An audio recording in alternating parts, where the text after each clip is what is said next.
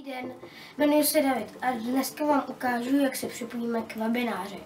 Budeme k tomu potřebovat notebook, přístup k internetu a sluchátka s mikrofonem.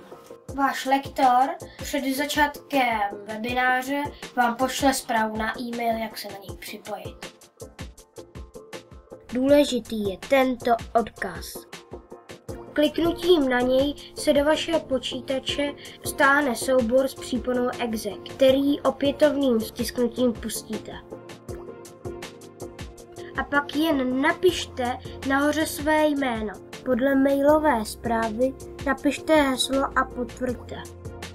Jen čekáte, až lektor zahájí webinář. Potom s vámi bude sdílet svoji pracovní plochu.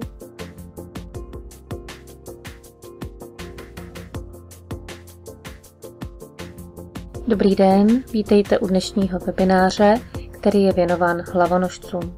Poprosím o zpětnou vazbu, napište prosím dole do četovacího okénka, zda mě dobře slyšíte. Výborně, tak zpětnou vazbu máme, vidím, že slyšíte, tak se pojďme podívat, co nás dneska čeká.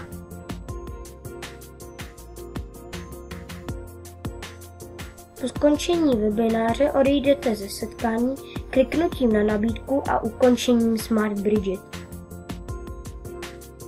Já jsem se úspěšně připojil. Zkuste to také.